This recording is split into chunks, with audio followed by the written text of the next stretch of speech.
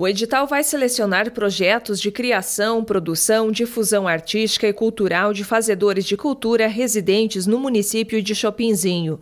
210 mil reais é o valor que será dividido entre os artistas.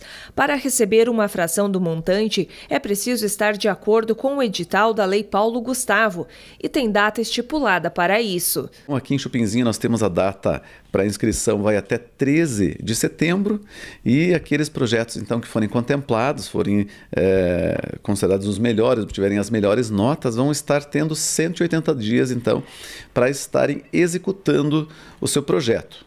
Uma vez que eles foram selecionados, então eles vão receber a verba e a gente vai estar fiscalizando, né? vai ter uma comissão que vai estar fiscalizando para que as etapas do projeto estejam sendo cumpridas em tempo, de acordo com o projeto foi proposto. 210 mil reais, sendo 198.717 repasse do governo federal através do Ministério da Cultura e 11.282 contrapartida do município de Chopinzinho através do Departamento de Cultura, destinados a aprovação dos seguintes projetos.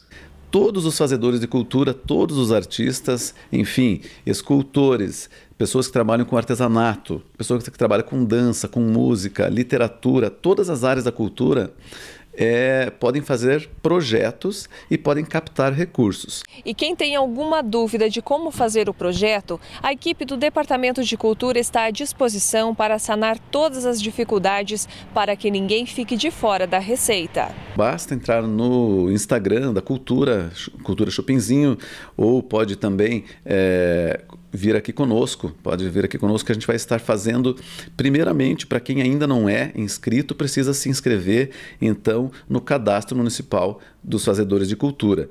E o segundo passo, então, vai estar fazendo um projeto, que é esse projeto da Lei Paulo Gustavo. A pessoa vai estar fazendo um projeto onde ela vai determinar como ela quer fazer, o que ela quer fazer, em quanto tempo esse projeto precisa é, é, para ser elaborado, quantas pessoas vão estar envolvidas e, de acordo com esse número de pessoas envolvidas, de acordo é, com as características do projeto, se ele seguir aquilo que está no edital, quanto mais próximo daquilo que está no edital, vai ser a pontuação o valor é para apoiar o desenvolvimento de atividades da economia criativa.